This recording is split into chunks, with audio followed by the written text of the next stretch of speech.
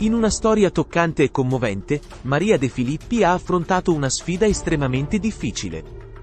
La coraggiosa conduttrice, nonostante la voce rotta dalle lacrime, ha dimostrato una straordinaria forza interiore che l'ha spinta a continuare. Per un lungo anno e mezzo, ha affrontato questa prova con coraggio e determinazione, un esempio di resilienza che ha ispirato molti. Prima di continuare vi chiediamo gentilmente di lasciare mi piace e iscrivervi al canale. Grazie di cuore. Nel frattempo, un'altra parte importante di questa storia è stata il suo impegno costante a fare visite regolari a suo padre, cercando di stare al suo fianco il più possibile. Nel frattempo, suo fratello è rimasto nel parcheggio dell'ospedale, tormentato dalla paura di entrare in quelle mura che rappresentavano la malattia. Questa difficile situazione ha segnato profondamente la loro famiglia, lasciando cicatrici emotive indelebili.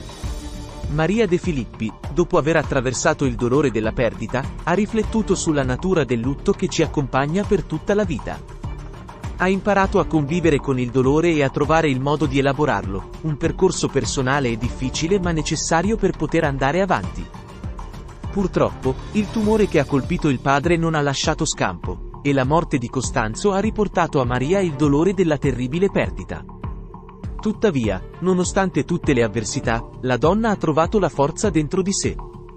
Ha scelto di utilizzare la sua esperienza come fonte di ispirazione e sostegno per il suo pubblico, dimostrando un'eccezionale resilienza e determinazione nel superare le difficoltà. Grazie per aver dedicato il vostro tempo a guardare l'intero video. Se avete apprezzato il contenuto, vi chiediamo gentilmente di mettere mi piace e di lasciare un commento con le vostre opinioni. Siamo interessati a conoscere le vostre riflessioni e a discuterne insieme. Non dimenticate di premere il campanello per rimanere aggiornati sulle prossime novità e pubblicazioni.